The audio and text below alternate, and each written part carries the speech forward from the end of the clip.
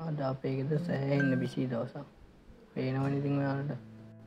කට්ටිය කුරුදු දල්නවා ඇවිල්ලා. සේරෝම ටික බරටම වැඩ.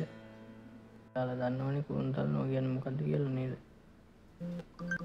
අපි කවුරුත් ඉතින් එලවල්වලට මේ උගෙනකොට අනිවාරෙන් කුරුණු පොතු ඇල්ල දානවනේ. ලොලුවට මාළුවක් කදනකොට එම ඒ දාන කුරුණු පොතු මහන්සිය පොත්තක් ගන්න.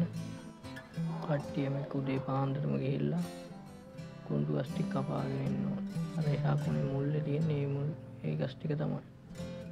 පස්සේ ටිංගට ටික පය හැලා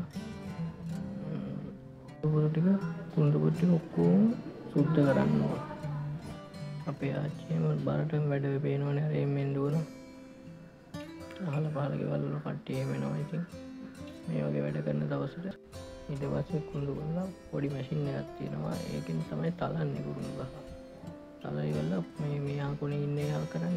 ඒ වගේ පොට්ටු ගන්නවා හල බල කට්ටිය වැඩිපුරමින් ඉදි පච්ච ගන්න තමයි. ආමතින් අපේ අම්මල වෙති එකක් එම හදල් දෙනවා. පේන්නට බරටම් වැඩ සීරෝම එක.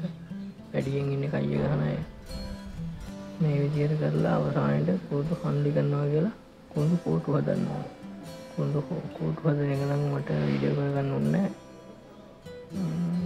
ඉන්නම හද පෝට්ටිකක් දාන්නකු.